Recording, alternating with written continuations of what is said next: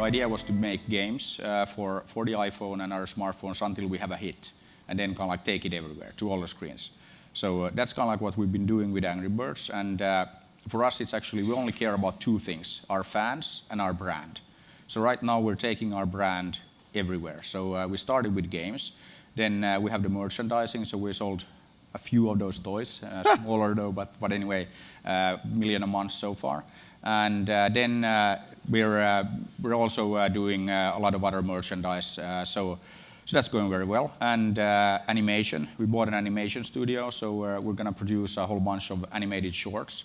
Already have 170 million views on YouTube, which is that's more than it? more. Yeah, but it's like we're only getting started, so you know it's it's not like Bieber numbers, but you know we'll get there.